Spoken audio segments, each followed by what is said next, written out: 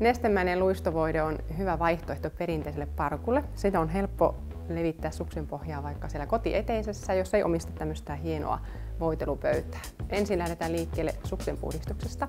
Pitää saada epäpuhtaudet suksen pohjasta pois, jotta se luistovoide tarttuu sinne suksen pohjaan paremmin. Ravistetaan, levitetään. Sitten otetaan kuituliinalla.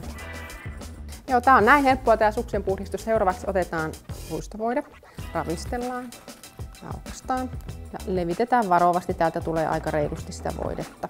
Suksen suuntaisesti, jotta voide ei mene hukkaan, vaan kaikki pysyy siellä suksen pohjalla. Kuivuliinalla levitetään voide tasaisesti ja sen jälkeen annetaan sen kuivua. Nyt suksen pohja on hyvin kuivunut ja otetaan sitten harja. Harjataan